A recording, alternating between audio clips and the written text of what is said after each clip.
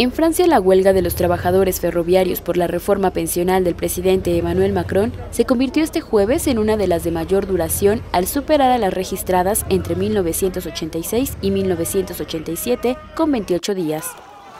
Este jueves, los transportadores franceses marcaron un nuevo hito por cuenta del día número 29 en el transcurso de la huelga que adelantan en rechazo a la propuesta de reforma pensional.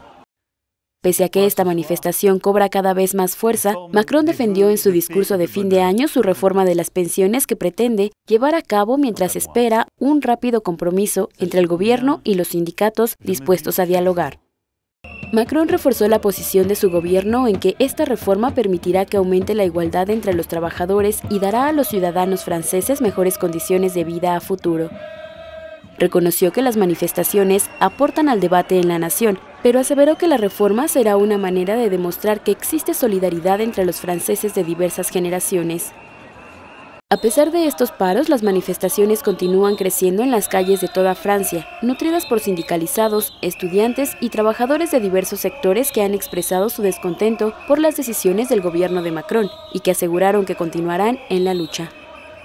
Se convocó a una nueva ronda de manifestaciones el 7 de enero para repudiar el proyecto de ley de pensiones que será presentado el 22 de enero al Consejo de Ministros y después seguirá una revisión por parte del Parlamento, prevista para febrero.